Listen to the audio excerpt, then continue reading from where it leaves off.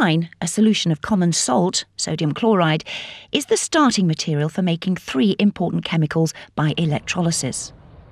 Sodium hydroxide is used for making soap, paper, and synthetic fibres. Chlorine is used for plastics, water purification, and insecticides. Hydrogen is used as a fuel and for making nylon and hydrogen peroxide.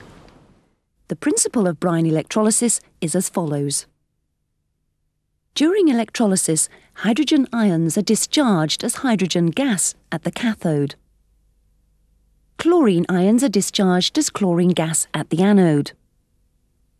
Sodium ions and hydroxide ions stay behind as a solution of sodium hydroxide.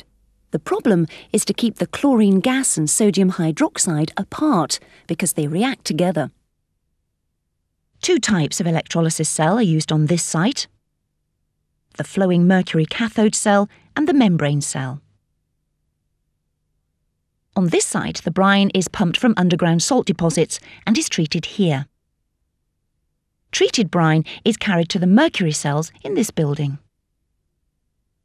Membrane cell electrolysis takes place here. Chlorine is treated and stored here.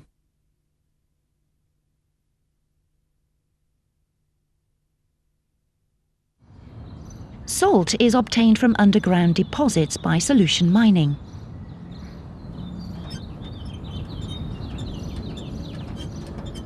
Salt deposits are some 300 metres deep. Water is pumped into the deposits and dissolves the solid salt. Air is pumped in and the saturated salt solution, brine, brought to the surface, where it's treated to remove calcium and magnesium compounds and carried by pipeline to the plant. Here, it is acidified to help the production of chlorine in the electrolysis. This is one of the 106 cells in the flowing mercury cathode cell room.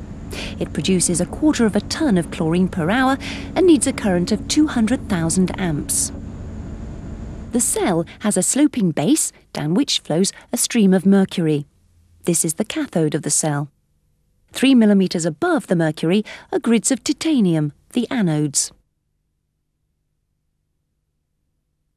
During electrolysis, Chlorine is discharged at the anode. Sodium is discharged at the cathode and dissolves in the mercury, forming an alloy called an amalgam. When working, the mercury cathode cell is sealed. This cell is being cleaned, it's not working.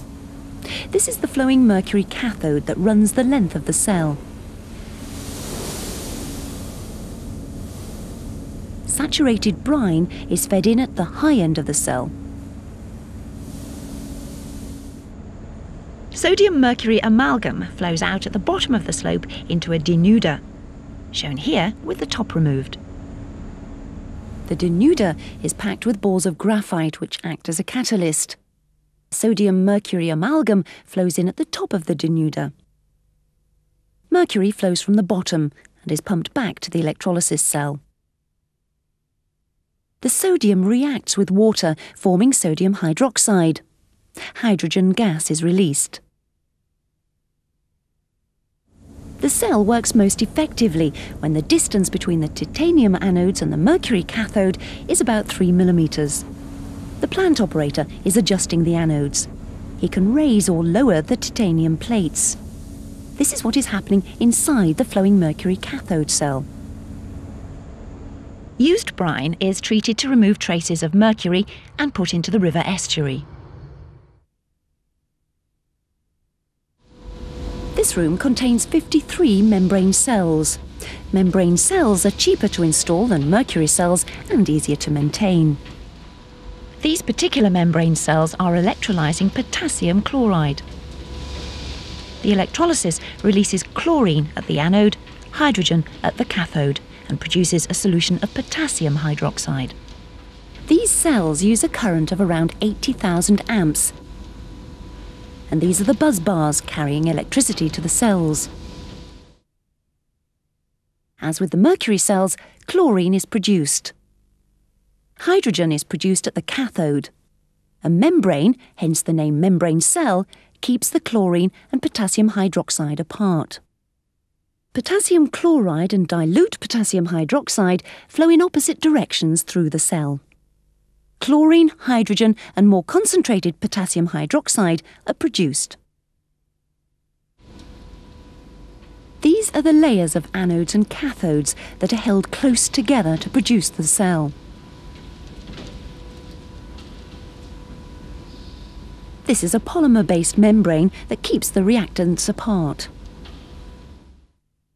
Concentrated potassium chloride enters the anode compartment where chloride ions are discharged as chlorine. This leaves less concentrated potassium chloride, which carries the chlorine out of the cell. Dilute potassium hydroxide enters the cathode compartment, where water is decomposed into hydrogen gas and hydroxide ions. The membrane allows potassium ions to flow through from the anode compartment. These, along with the hydroxide ions, increase the concentration of the potassium hydroxide. The concentrated potassium hydroxide carries the hydrogen from the cell. In the electrolysis, potassium chloride becomes more dilute. Potassium hydroxide becomes concentrated. The potassium hydroxide, sometimes called caustic potash, is sampled to check its concentration. Chlorine can be tested by drawing off small quantities of the gas. The chlorine product is collected, treated and stored. It can be transported by road, rail and sea.